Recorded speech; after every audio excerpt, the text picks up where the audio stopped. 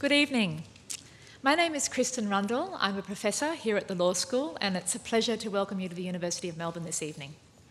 Before we commence our proceedings tonight, I'd like to acknowledge the peoples of the Kulin Nation as the traditional custodians on the land on which I work and pay my respects to their elders, past, present, and emerging.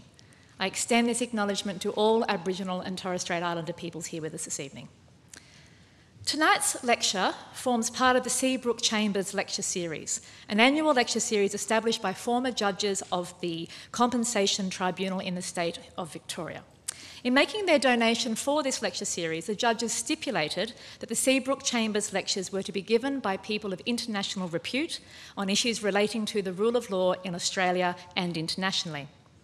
Tonight's lecture on integrity and the rule of law, to be delivered by the Attorney General of Australia and Melbourne Law School alumnus Mark Dreyfus, KC MP, is a fitting match for that vision.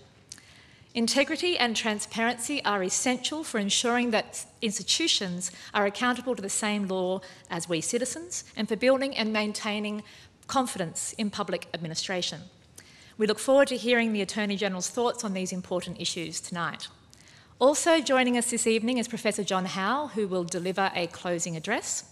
John is the Director of the Melbourne School of Government, as well as a Director of the Centre for Employment and, Employment and Labour Relations Law here at Melbourne Law School. His research interests include labour market policy and regulation, regulatory design, and corporate accountability.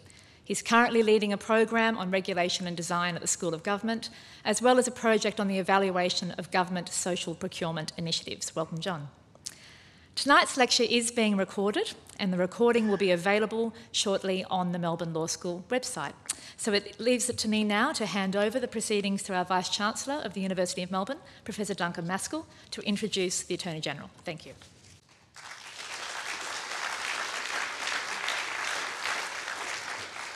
Thank you very much. I also acknowledge the traditional owners of the lands on which all of us work and learn and I pay my respects to Indigenous elders, past and present. I acknowledge all Indigenous people who are here this evening, and I look forward with hope to the enshrining of an Indigenous voice to Parliament in the not too distant future. As well as the First Peoples of Australia, I also wish to acknowledge the many distinguished guests here this evening, particularly, of course, our lecturer, the Attorney General. And to everybody who is here, welcome. A warm welcome from our great university. We gather tonight for a public lecture on a theme of great importance in the life of the nation at the present moment. And given both his recent appointment as First Law Officer of the Crown and his long standing commitment to the idea of a powerful, independent National Anti Corruption Commission, it's great that we're able to welcome Attorney General Dreyfus to deliver it. By way of introduction to him, let me recap a few central facts. Mark Dreyfus, KC MP, and that is the first time in my life I've said KC, was uh, appointed Attorney General of the Commonwealth of Australia on the 1st of June 2022. Mark was first elected to the House of Representatives as the member for Isaacs in November 2007. In 2010, he was appointed as Cabinet Secretary and Parliamentary Secretary for Climate Change and Energy Efficiency, and in February 2013, Attorney General and Minister for Emergency Management. Prior to entering Parliament, Mark was a Melbourne barrister and was appointed Queen's Counsel in 1999. He appeared for and advised federal, state, and local governments and appeared in a number of landmark cases in the High Court, including the Stolen Generations litigation. Mark is a passionate defender of the rule of law, freedom of the press, and, as already mentioned, the need for a powerful and independent National Anti Corruption Commission. He is also a strong advocate for social justice who believes in creating a sustainable economy and environment for future generations. I might also add, though this is not highlighted in his official biography, that the Attorney General is both a graduate of the University of Melbourne and indeed of this law school. And that I believe he comes from a significant musical background as the son of the distinguished composer George Dreyfus. Uh, in addressing us tonight, Attorney General Dreyfus will be continuing the Seabrook Chambers lecture series, which, as we've just heard, is an annual lecture series established by former judges of the Accident Compensation Tribunal in the state of Victoria. Um, in this regard, and as you've just heard, uh, Australia's Attorney General is clearly a highly appropriate person to be delivering this, lectures, this, uh, this year's lecture. So please join me uh, in welcoming the Attorney General of Australia, Mark Dreyfus, to present the 2022 Seabrook Chambers Public Lecture on the topic of integrity and the rule of law. Thank you very much.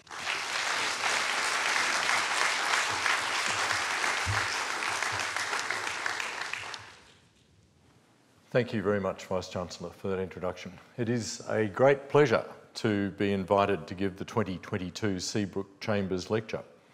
As an alumnus of the Melbourne Law School, I'm very pleased to be back here at the University of Melbourne this evening. It's always good to be in Melbourne. Uh, it's good to be in an audience where I can look out and see quite a really a surprising number of familiar faces. Uh, you'd be surprised going around Australia. Sometimes I give talks in places where there are almost no familiar faces, but this is not such an occasion, uh, including a number of colleagues from uh, the legal profession here in Melbourne. Can I thank the Dean of the Melbourne Law School, Professor Matthew Harding, for extending this opportunity uh, to speak with you. And I'd begin by acknowledging the Wurundjeri people of the Kulin Nation, on whose ancestral lands we are gathered tonight, I pay my respects to their elders, past and present.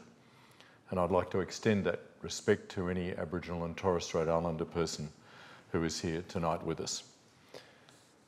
Given the theme of this lecture series relates to the rule of law and judicial independence, I'd like to begin by acknowledging the contribution of former High Court Justice Sir Gerard Brennan. Sir Gerard was a giant of the law generally and a champion of the rule of law in particular, calling its maintenance the very raison d'etre of the judiciary. On a personal note, he presided over the very first matter in which I appeared before the High Court, and I went on to appear before him on a number of occasions. I admired and respected the manner in which he ran his court and his respect for the parties, the staff, and above all, his respect for the law. Fittingly, Sir Gerard routinely spoke of the fundamental importance of judicial independence. Speaking at the 1996 Australian Judicial Conference, he said, and I quote, Judicial independence does not exist to serve the judiciary, nor to serve the interests of the other two branches of government. It exists to serve and protect not the governors, but the governed. Tonight, I'd like to share some of my thoughts on the need to strengthen the rule of law in this country. I will also speak on the critical role of an independent judiciary as a mechanism to promote and protect the rule of law.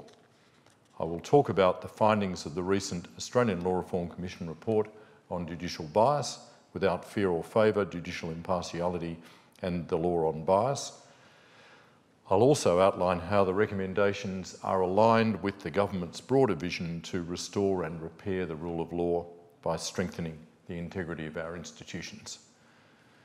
In the spirit of the international flavour often brought to this lecture th series, I'll then turn to Australia's role in upholding the international rule of law, including through the International Court of Justice. First on the rule of law. As Attorney General, I have an important role to play in safeguarding and promoting the rule of law. There is, of course, a long running debate among theorists as to precisely what the rule of law might encompass. For our purposes tonight, I think it suffices to say that the rule of law requires at least the following. First, that all are governed by the law, including and especially the government. Second, that the institutions charged with applying and upholding the law do so and are seen to do so impartially and with integrity. And third, that the operation of the law is appropriately open and transparent. Unfortunately, there have been some threats to the proper operation of the rule of law in Australia in recent years, and it's important that we reflect on these challenges so that we can do better. With that in mind, we must reflect on the, counter, on the culture of unaccountability that was allowed to flourish under the previous government, perhaps most shamefully displayed in the issuing by the Australian government of hundreds of thousands of unlawful debt notices to its own citizens. We must reflect on the damage done to our institutions and their reputation by the abuse of political appointments, perhaps most grievously in the case of the Administrative Appeals Tribunal. Finally, we must reflect on the quite shocking revelation that the former Prime Minister secretly appointed himself to a number of ministries, a matter going to the very heart of the functioning of our system of government. The damage done to the rule of law in recent years must be repaired, and doing so has been and will continue to be one of my priorities as Attorney General. A number of the key initiatives in my portfolio are directed to this end.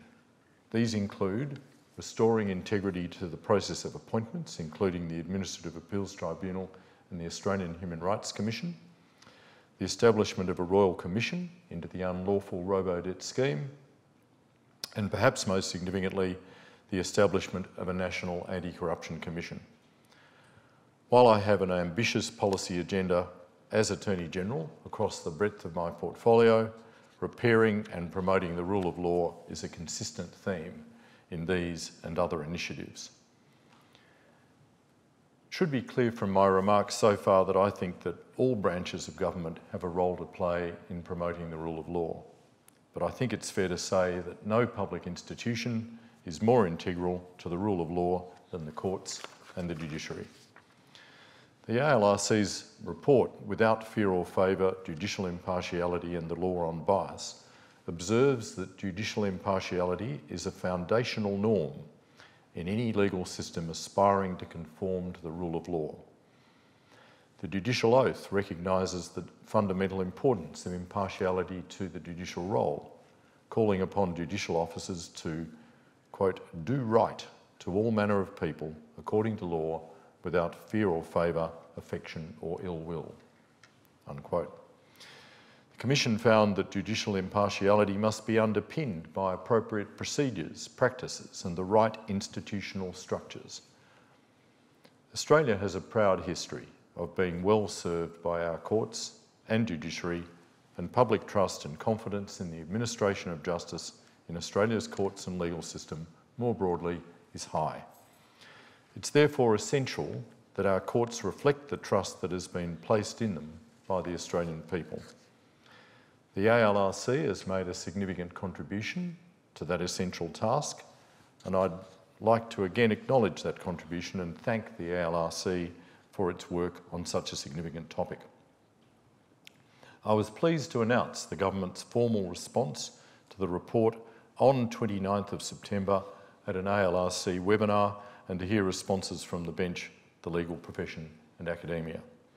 The report presents us with an opportunity to further consider ways to strengthen the rule of law in Australia. The Commission's inquiry was prompted by the application of the law on bias arising from a decision of the then full court of the Family Court of Australia, which eventually came before the High Court for consideration and determination. Pleasingly, the report confirms that the Australian judiciary is highly respected internationally for its integrity and its impartiality, and public confidence in the courts and the judiciary is generally high. However, the ALRC did identify ways to strengthen the administration of justice. I commend the ALRC for adopting a broader approach to the consideration of reforms to support judicial impartiality and public confidence in the federal courts. The majority of the ALRC's 14 recommendations are directed at the federal courts for their consideration and further action. These include recommendations to enhance transparency of the law and processes by which the courts manage potential judicial bias, as well as improving the education and guidance available to judicial officers on these issues. There are three recommendations expressly directed at the Australian Government. These are first, that the government should develop a more transparent process for appointing federal judicial officers on merit. Secondly, that the Commonwealth Attorney General should collect and report annually on statistics regarding the diversity of the federal judiciary. And thirdly, that the government should establish a federal judicial commission. And I'll now address those three recommendations in more detail. The first of these recommendations relates to the appointments process.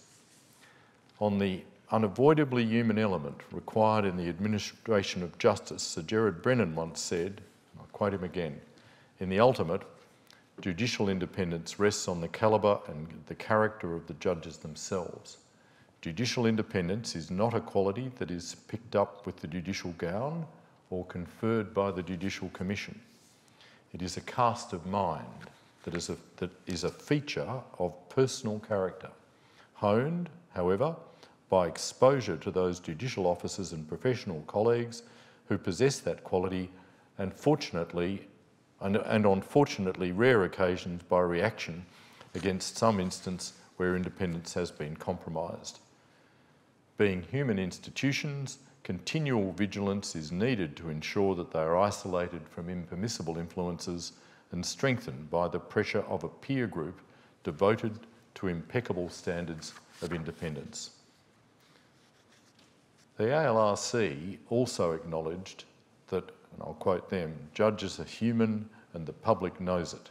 Judges and the public they serve have recognised that human decision making can never be completely neutral. But this does not mean that judges are biased in the legal sense, nor that they cannot be impartial in a meaningful way.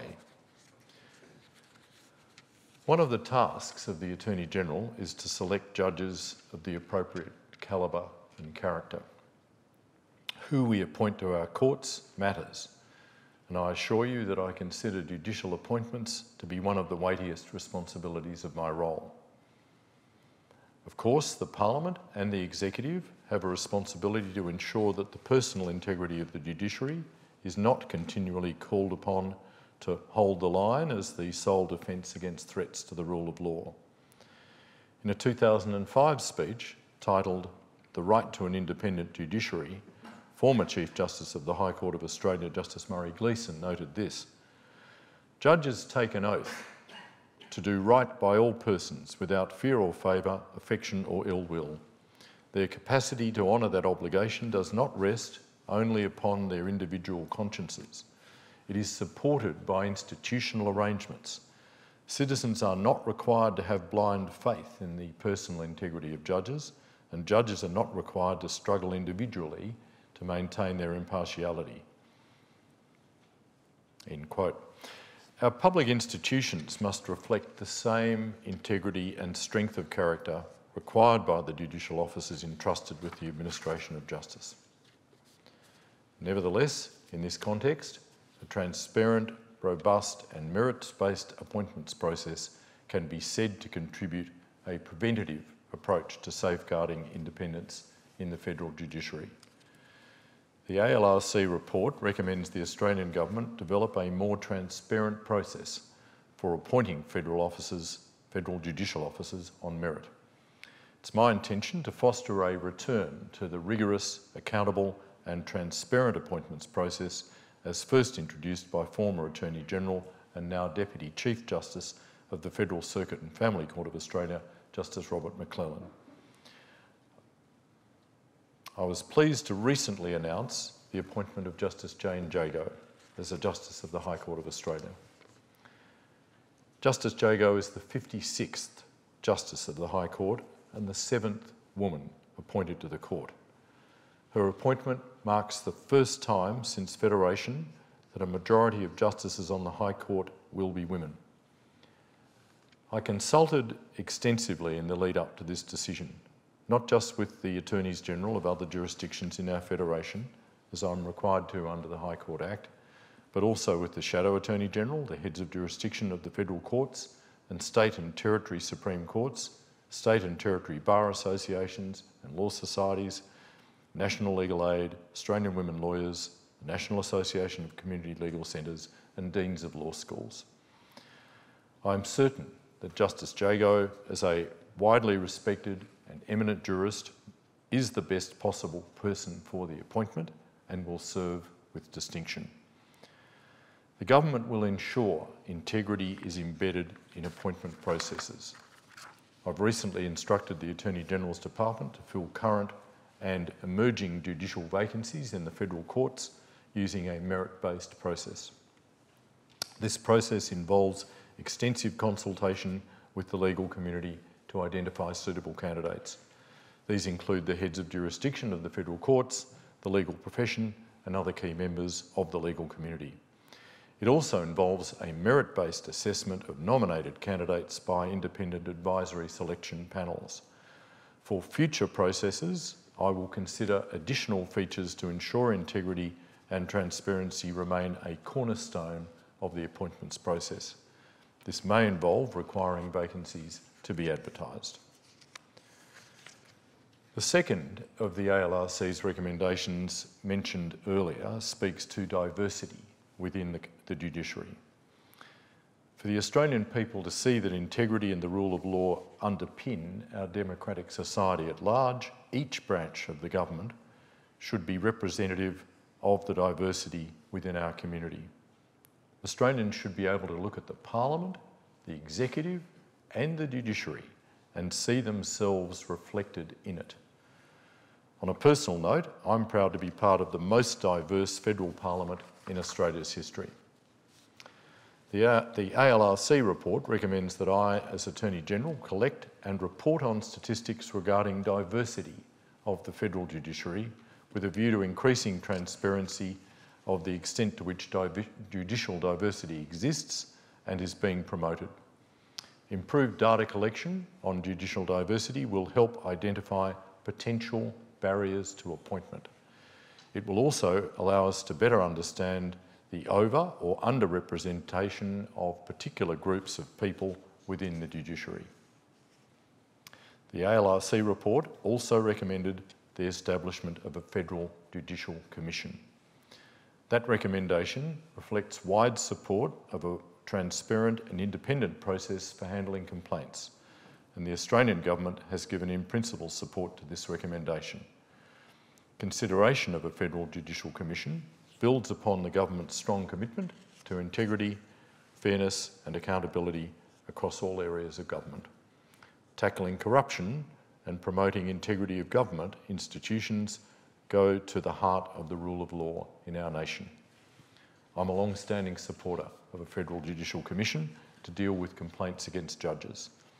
Consistent with the separation of powers, heads of jurisdiction can currently deal with complaints about the conduct of serving federal judges internally. Under the Constitution, complaints against federal court judges, including heads of federal jurisdictions and serving judges of the High Court, can be considered by Parliament if they warrant consideration of removal from office on the grounds of proved misbehaviour or incapacity. Parliament may establish a parliamentary commission to investigate allegations and inform Parliament in considering whether alleged misbehaviour or incapacity is proved. I fully appreciate that any judicial commission which is empowered to investigate complaints against federal judges must be consistent with the independence of the judiciary. Judicial independence is enshrined in the Australian Constitution. This independence is fundamental to the maintenance of the rule of law and our democratic society. The government will closely consult with the federal courts and other key stakeholders to consider the merits and proposed design of a federal judicial commission.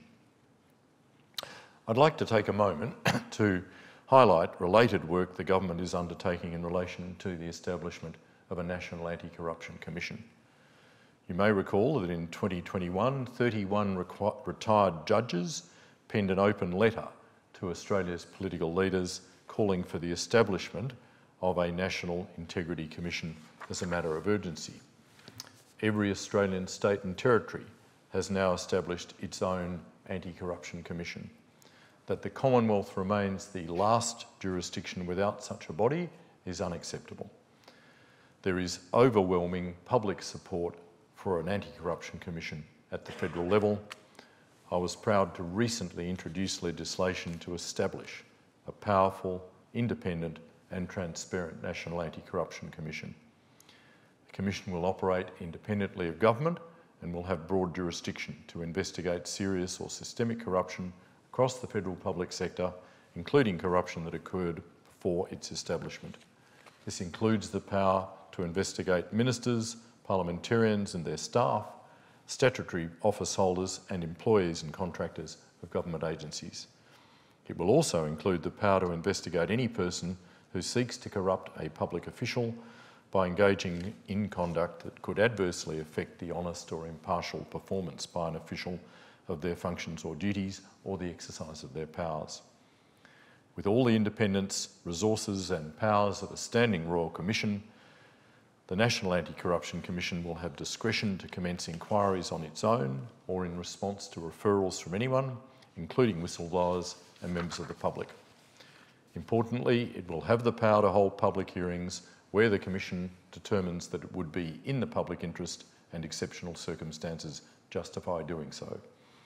The Commission will operate with procedural fairness and its findings will be subject to judicial review.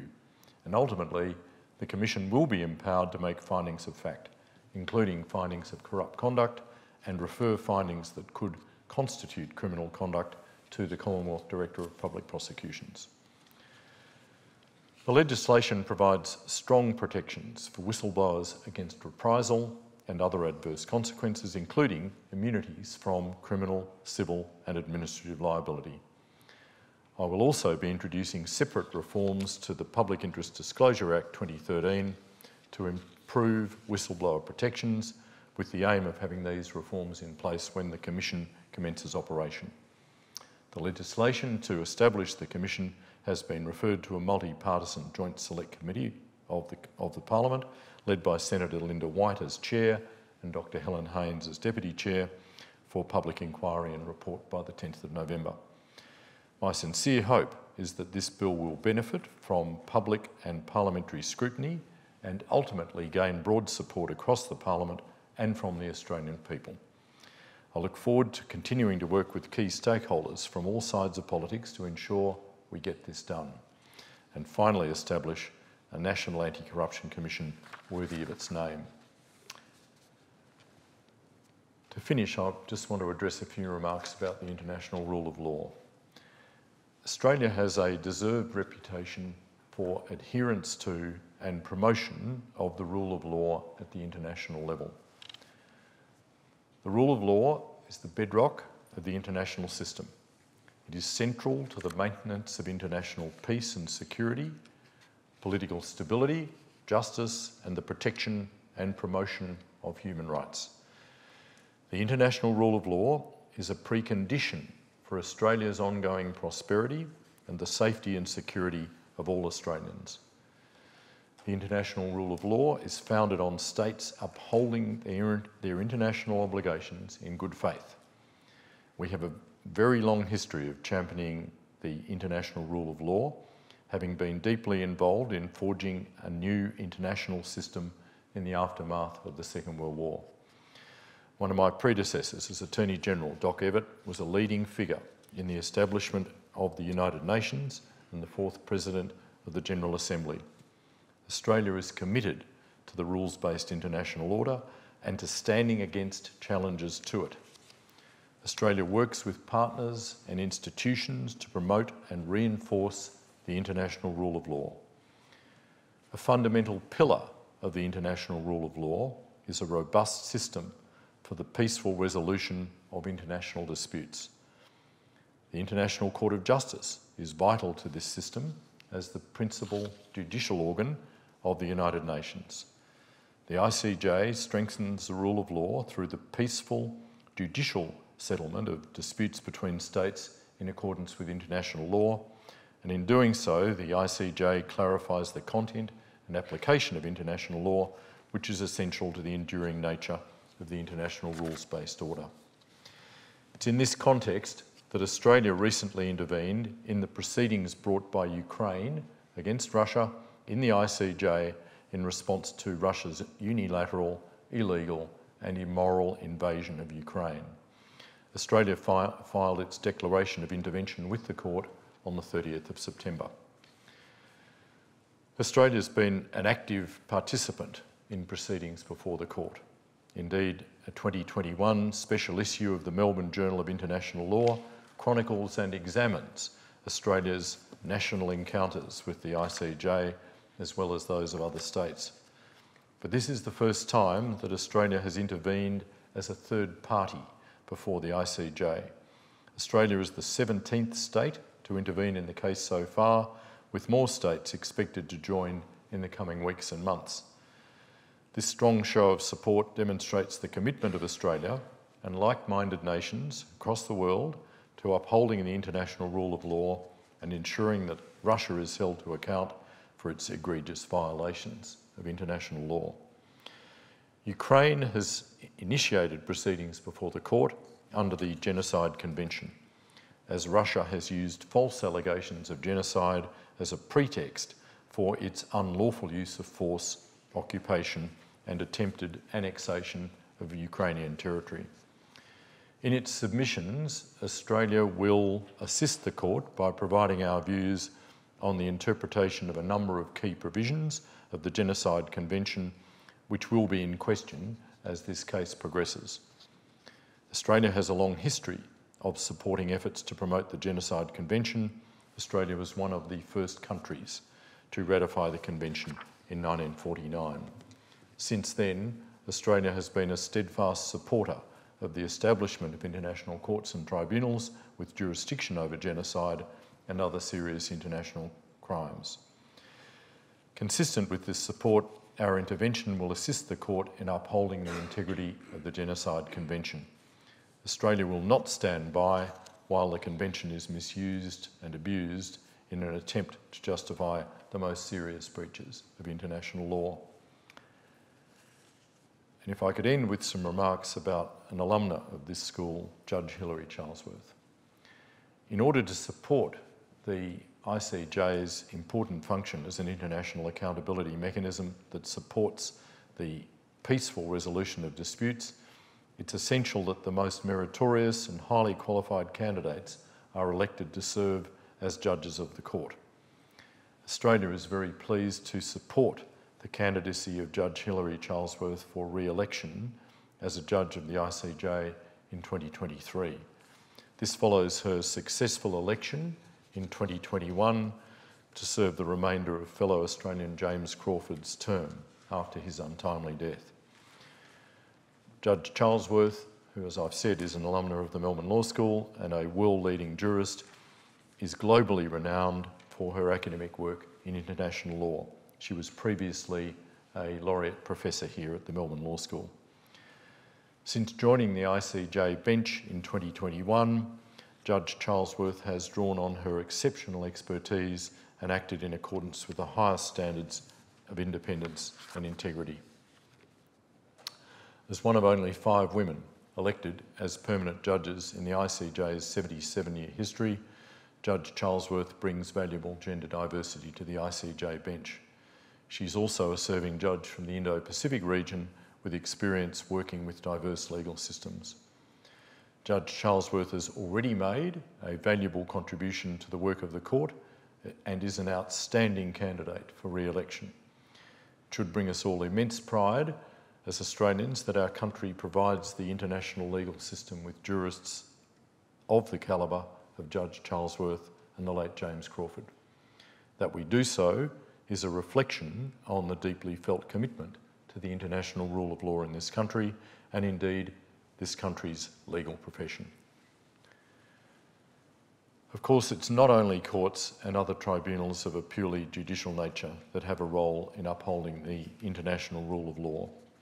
International organisations play a crucial part in ensuring accountability for breaches of international law by states and safeguarding the integrity of the international rules-based order. The initiation of legal proceedings by Australia and the Netherlands against the Russian Federation in the International Civil Aviation Organisation for Russia's role in the downing of Malaysian Airlines flight MH17 on the 17th of July 2014 is one such example. ICAO was, was established in 1944 by the Chicago Convention. The ICAO Council a permanent body of 36 states, elected every three years, is expressly endowed under Article 84 of the Convention with the responsibility for resolving states' disputes concerning the interpretation and application of the Convention. The downing of MH17 was a clear breach of the Chicago Convention. In bringing our case to the ICAO Council, Australia and the Netherlands have taken a major step forward in the ongoing fight for truth, justice and accountability for this horrific act of violence which claimed the lives of 298 victims, including 38 Australian citizens and residents. Russia's war on Ukraine has underscored the need to continue our efforts to hold Russia to account for its actions. Challenges to the international rule of law are continually arising. However, we will remain steadfast in protecting and promoting the international rule of law. In conclusion, I would like to commend Melbourne Law School for its work through the Seabrook Chamber Lecture Series, creating a forum for discussion on our collective and enduring responsibility to promote and protect the rule of law and the continuous diligence and scrutiny that this goal requires. Thank you again, Professor Harding, for inviting me to speak tonight. I was honoured to be able to pre present my thoughts and I look forward to working with many of you here in your professional capacities. Thank you very much.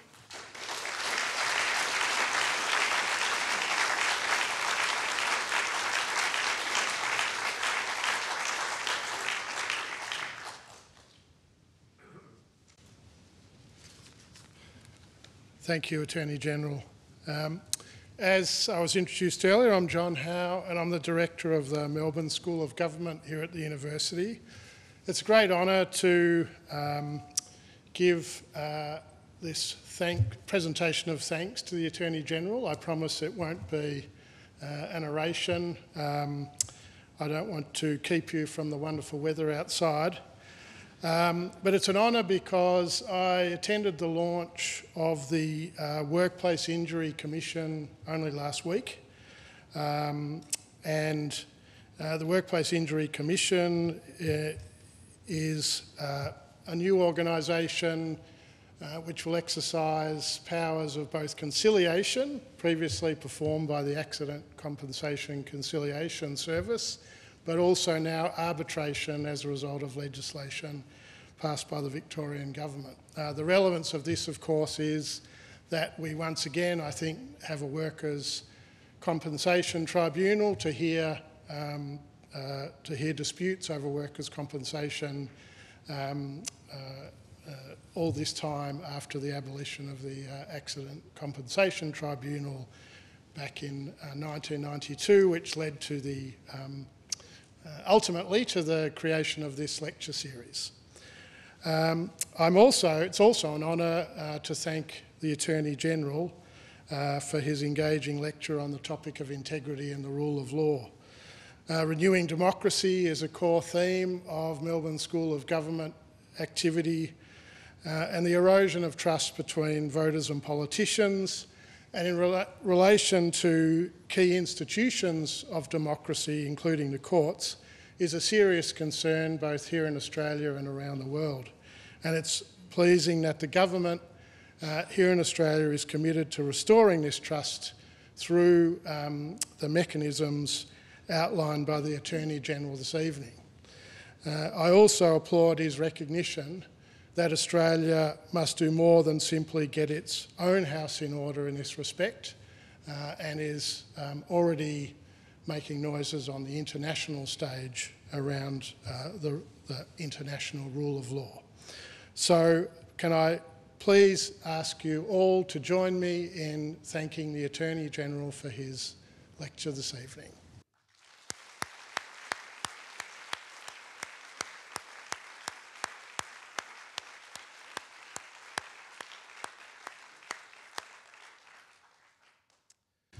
Uh, I'd also like to thank Kristen Rundle for her um, wonderful introduction to the event. And I'd like to thank Emily Holt and the university's events team for their excellent organisation of this evening's lecture. I thank you all for attending uh, on such a grim uh, evening weather-wise and I look forward to seeing you all at future events here at the University of Melbourne. Thank you.